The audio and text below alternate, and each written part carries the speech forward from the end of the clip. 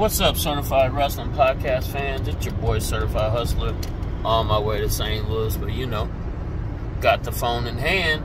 WWE is bringing in a professional wrestling legend that you guys should be very, very, very excited about.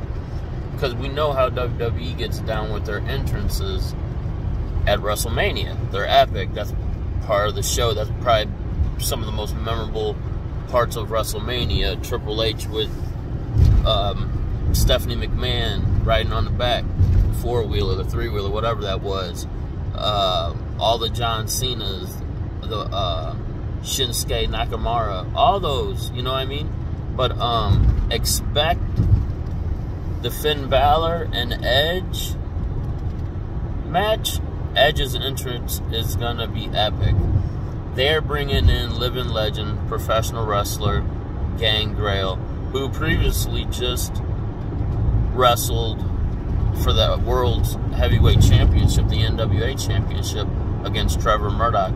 Came up short. Trevor Murdoch finally, not finally, because I won him as champion again, got beat by a dinosaur. But that's a different story for another day. But yeah, there you go.